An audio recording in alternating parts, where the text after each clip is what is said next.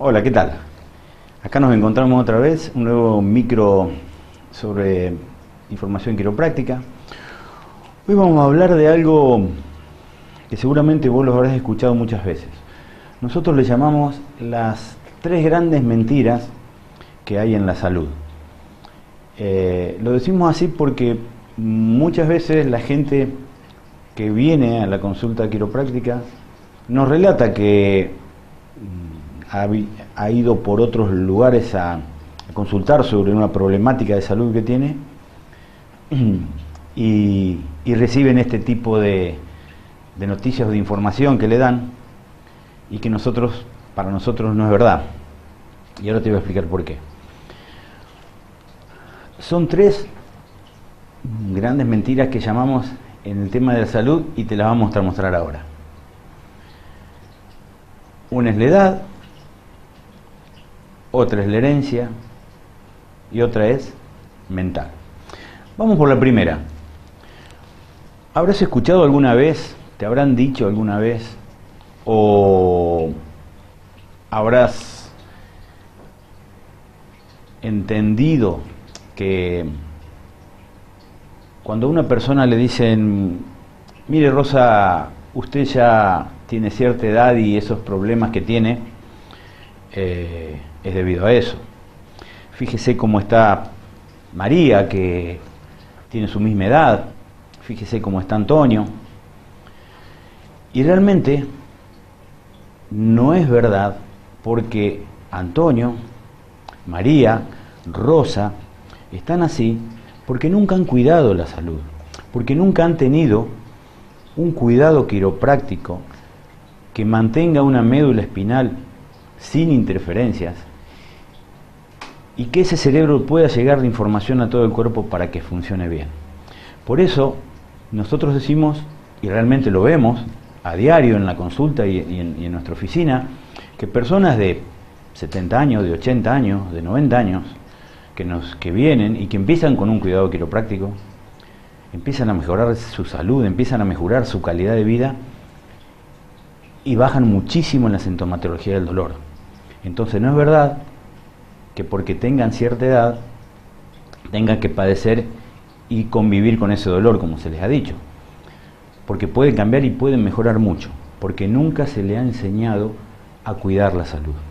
Entonces esa es la primera gran mentira que le dicen, usted tiene cierta edad y de esa forma tiene que vivir lo que le queda de vida.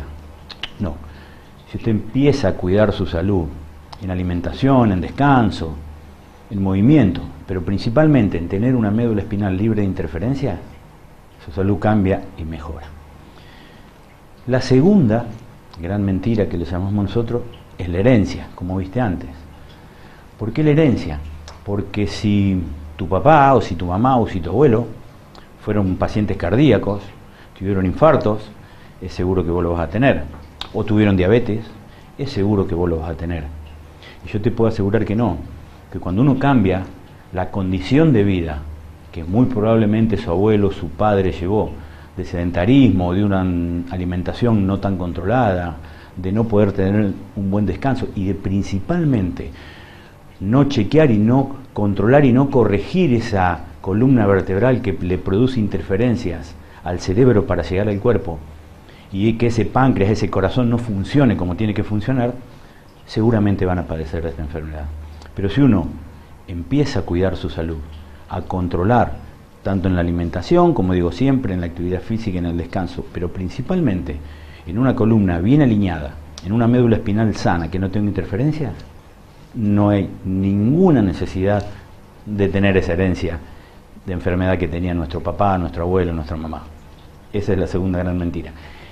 Y la tercera mentira es la mental, cuando le dicen, mire Juana, usted ya se hizo esto, se hizo esta cosa, se hizo esto otro, y usted no tiene nada, usted lo que tiene es mental. No, señor, eh, el síntoma, el malestar, lo tiene esa persona y lo tiene porque la condición de su salud no es buena. Y hay un motivo que hace que la condición de esa persona no sea de bienestar y de buena salud. Entonces, volvemos a lo mismo. Alimentación, descanso, actividad física, pero principalmente corregir la médula espinal, corregir el sistema neuroespinal, que es lo principal para obtener buena salud. Si yo tengo un sistema neuroespinal libre de interferencias, mi cerebro puede llegar a todo el cuerpo. Y yo te puedo asegurar que tu salud se va a restaurar, que tu salud se va a potenciar y que tu salud se va a mantener durante lo que te quede de vida, haciéndote una vida mucho más saludable. Por eso, bueno, hoy eh, estas tres grandes mentiras que nos pueden decir en la salud, tenlas en cuenta y empezar a cuidar tu salud. Nunca es tarde. Tenga la edad que tenga. No porque tenga cierta edad vas a tener que convivir con un dolor. Te puedo asegurar que un cuidado quiropráctico adecuado, una alimentación adecuada, una actividad física adecuada y un descanso adecuado van a hacer que tu vida cambie y mejore totalmente. Bueno, nos veremos la próxima semana en el próximo micro, que va a ser el último de este año. Y te espero. Vamos a hablar de un tema también bastante particular sobre el cuidado quiropráctico. Gracias.